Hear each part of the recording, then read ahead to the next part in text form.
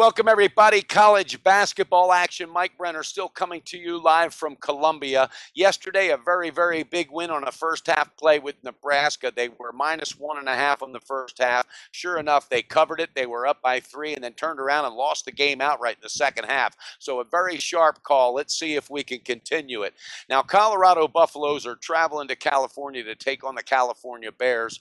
Colorado's 11 and 2 on the year. They're 2 and 0 on the road, and more importantly, importantly, they're seven and three against the spread this year. So they're banking the buck for the people that are taking their chances and betting on Colorado. Now they did lose their last game to SMU. SMU's undefeated, a very, very good team. It was a close ball game. They were on the road. They lost 70 to 66. Now Josh Scott leads the way uh, with 12 rebounds and 12 points per game. So let's see if he continues that momentum against California. Now California, they're 10 and 3 on the year. Here's the thing thing. They're 9 and 0 at home. They love and they love the home court advantage. A couple weeks ago, they were very, very big uh, for us in a very big play that we had on a video for SBR.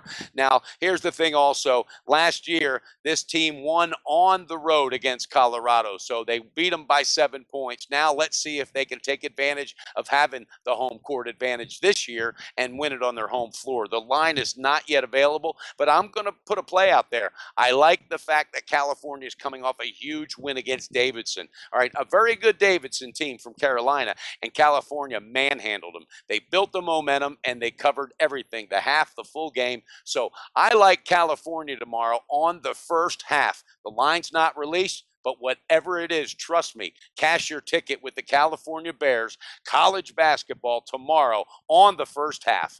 Don't miss it.